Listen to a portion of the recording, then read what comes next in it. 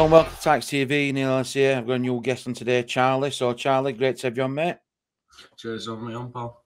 Not a problem. Uh, yeah, I mean, just before we go into the Bolton game, we're going to have a, a brief touch on Fleetwood uh, game. Um, a win at home, but under, well, a bit dodgy like last 10 minutes when it uh, referee and that. But again, I think with Fleetwood, it's one of them kind of games with Maneuver. We're going to come make it awkward for us, like when we went to their place.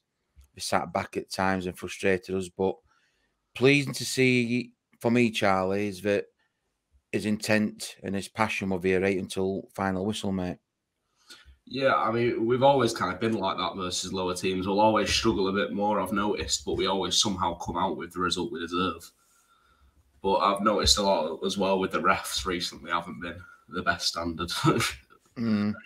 Yeah, it, a bit frustrating for me is like with referees and officials. You know, we can like go to lines, you know, uh, lines person, lines linesman, is that I get where you can make like mistakes and that. That's fair enough. But in in that game against Fleetwood, what highlighted it, it, it you know, it put things so it couldn't have been so different. Is that they got a penalty for a player running across in front of man and went down. Yet Norwood went down, being shoved over, and in the same game, one's given and one's not, and that's weird. It's like, well, what's happening here? Is is it God's against this kind of thing? Uh, we went to Accrington and Devante Cole got at, down, and you watch it again. It's it seems to be certain things like that what frustrates fans, and you, you kind of get that, don't you? Yeah, and I think at the end of the season, those are moments you look back on if we say like four points off automatics, which is not where I'd expect us to be, to be mm. But if we are, those are the points you'll look at and think maybe what if this happened? What if we had a bit better of a ref for this game? What if this all this? But you know, it's all gone now, on it. So you, there's no point crying over spilled milk kind of thing. Yeah, true. It's move on to the next game. Um, like I said, we going to Christmas period. We're Accrington away, uh, Fleetwood at home. So two similar sides in style of play. We will be roughly in league, but big big test coming up, uh, which we've all been talking about, and there's been a lot of right around it. Bolton Wanderers coming up, uh, Charlie. Um. I, I, I don't know how this one's going to go. To be fair, if I'm honest, because in league obviously we're a draw. FA Cup we went and won. Um, I just think it's always uh, Ian Evatt going to have a pop at this time. Like he seems to like having a go at some of our stuff. So, uh, but yeah, I mean, what's your take on Bolton game? It's it's going to be a tough game, isn't it? Yeah, I think so. I've been because I live in Bolton, so I've been talking to a lot of my friends about it, All and right, they yeah. said it can see it being a real tough challenge because they're quite good at defending. They've got a really mm. solid defence, but I've noticed their away record isn't too good on the grand scheme of things. I think it was like it 12 out of potential 30 or something along them yeah. lines. Yeah. So it's not the best away record, but on the day you got to be careful with Bolton because they've got players that make differences. Like Connor Bradley, he's been very good for them on loan. I'm not sure what's happening with James Trafford for them, their goalkeeper mm. because I believe Rangers have got interest in him and he might be going back to City. But just have to see what happens there. But if he goes, then I think we do have a chance. Oh, a really good player. that's interesting. Then that, that uh, goalkeeper situation. I mean, Bolton will, be fetching no disrespect to like such as uh, you know Forest Green and stuff like that, but will fetching a, a decent uh, uh, following of her. So all being well, all will you'll have that bit of, more of a banter between fans and that going off. Um, I think it's just going to be. I, I, know there's been a lot of hype around it uh, from Barnes and kind of thing about Luca Connell going, you know, back to Bolton. I mean, all that's like seems to get brought up all the time, but I think for me, I think I think Luca Connell's going to be one of the key players if I'm being honest. But then I'm also looking at someone like Mads Andersen and probably Norwood or Cole up front and Adam Phillips all being instrumental in in a game like Bolton, I mean, it's a big game for obvious reasons. We're both up, up there thereabouts. I mean, if we can get a win over Bolton and we've still got two games in hand, it, it's it's all about creating points and bit, bit of gaps in table. But or, or would you see as Barnes' key player coming into this this game, Charlie? I mean, it could be anyone really. Brad Collins is always sort of an insurance pick if you need in a tough game, but. Uh, Mads has been looking decent lately, but I think last game he wasn't the best of his performances. But he always builds off on it. And being a captain, I think he will be the one who makes the most impact, whether it's on the ball or off. Mm-hmm. 150th game he got as well against Fleetwood, so a good achievement. Um, and again, I think it was one of them kind of games where Mads, although it can be like a quiet game, you need to be switching all the time because you never know what they're going to do on counter attack or not like that. So, yeah, good shout uh, with Mads and like yeah, I like to be with Brad Collins, who plays that sweeper keeper role since come back from that uh, injury we had uh, smash up first in against Cambridge. Um, would you change all with lineup or, or would you keep it light for light going into Bolton game?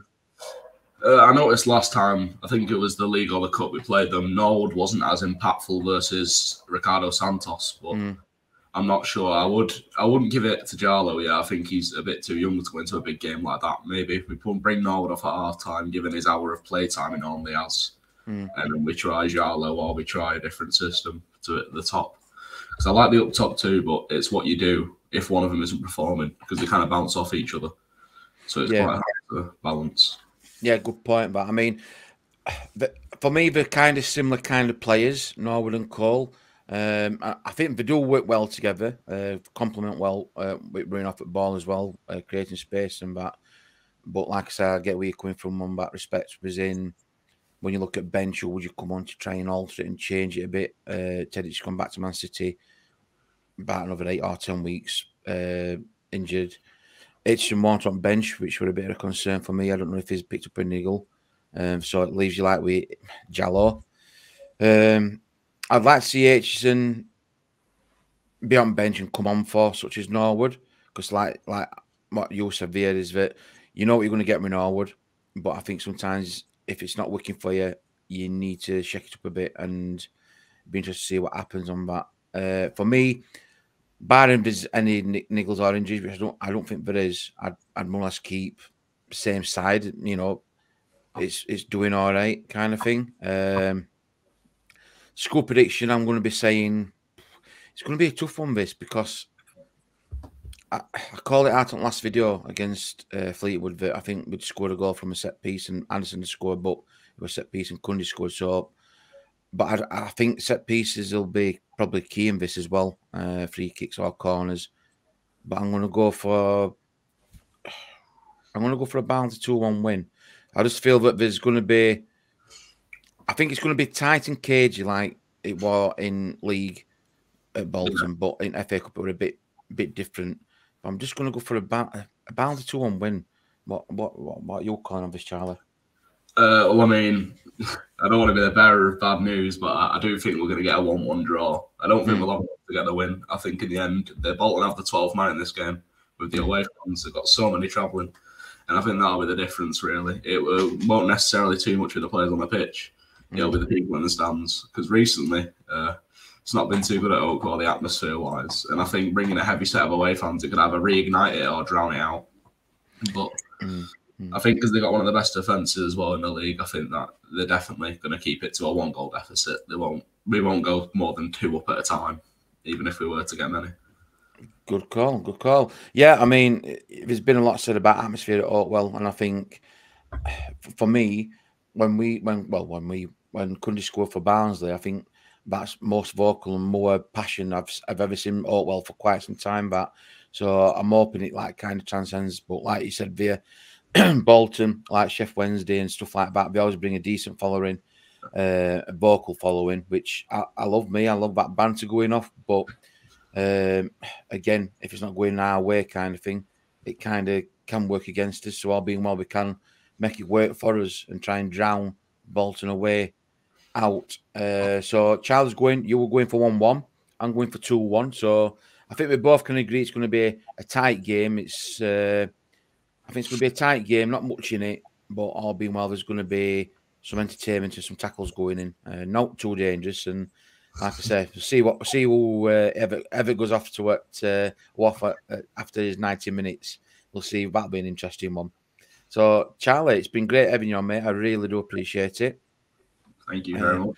Hope have a good new year. Uh, hope 2023 is going to be going in Barnes' way direction, and it's going to be a lot more positive than January 2022 when we're going into it. So, yeah, Charlie, thanks for joining me, mate. Appreciate no it. Problem. Have a good time.